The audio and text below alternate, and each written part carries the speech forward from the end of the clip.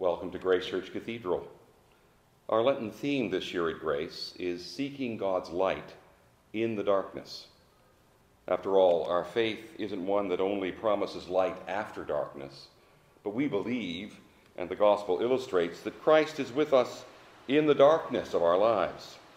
And we all know about darkness. Nicodemus came to Jesus by night, we read in John's gospel. Our world gives us the benefits of daylight savings time. God gives us the gift of darkness. Nicodemus came to Jesus by night.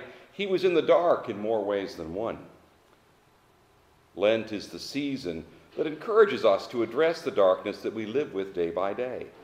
Our darkness has many names, but suffice to say, our darkness, like Nicodemus's, can leave us feeling less than whole, that something's missing, that we are on the wrong path, that there's little room to move, and that the light seems far beyond our self limiting horizon. Just think of all the darknesses you live with. The darkness of grief fills the wells of our inner emptiness. The darkness of sickness can sabotage what would have been our very best efforts.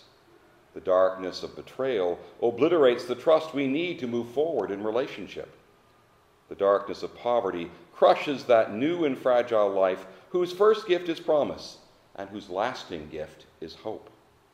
The darkness of prejudice can starve us of the necessary nutrients that feed our spiritual bodies, that enable us to grow more fully into the stature of Christ. The darkness of doubt paralyzes the spiritual muscles needed to grow a renewed faith. The darkness of loneliness masks itself as enjoyable, enjoyable time apart. Who are we kidding? I need love. I need to be loved. I need community. And the darkness of depression stops us cold. We would move if we could. Nicodemus's darkness would get darker still as he cared for the dead Jesus as he touched the cold body of God's beloved Son. And yet, in the darkness, Nicodemus continued to move forward. How many times did my mother remind me with those wise proverbial words, It's always darkest before the dawn? And then I'm reminded of another day, early in the morning on the first day of the week, while it was still dark. But surely, nothing good can be born out of the darkness.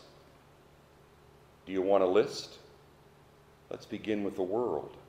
Out of chaos and darkness, God created a wondrous world. How about the salvation of the world on that day when there was darkness over all the land? On a Friday, we now dare to call good. What about that Easter morning when before the sun rises, our world would meet a risen sun? And so I am bound to wonder, I am forced to ask, what light, what life is coming to birth in my darkness today? In this Lenten season, I invite you to ask that question. What light and what life is coming to birth in your darkness today?